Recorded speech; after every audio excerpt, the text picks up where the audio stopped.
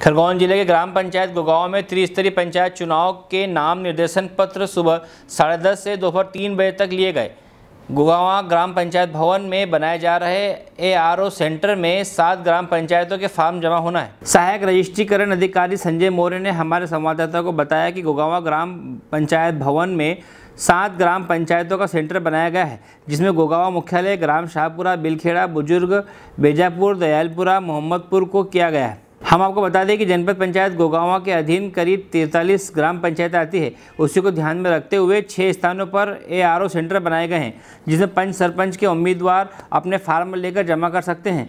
गोगावा संवाददाता इकबाल हकीम की रिपोर्ट।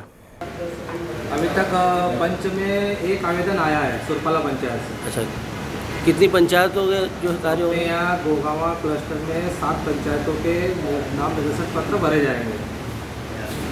जिसमें सुरपाला है और गोगावा ग्राम पंचायत है बेजापुर ग्राम पंचायत है मोहम्मदपुर ग्राम पंचायत दयालपुरा बिलखेड़ और शाहपुरा कुल मिला के सात ग्राम पंचायत है। लेकिन अभी तक एक ही फॉर्म आया पंच अभी तक एक ही फॉर्म आवेदन आया है पंच के अंतर्गत। कहाँ से आया सर ये? ये सुरपाला ग्राम पंचायत से। अच्छा आप कितने दिनों से बैठे हुए यहाँ पर? यहाँ पे तीस तारीख से नाम निर्देशन का काम चालू है। आज तीसरा दिन है।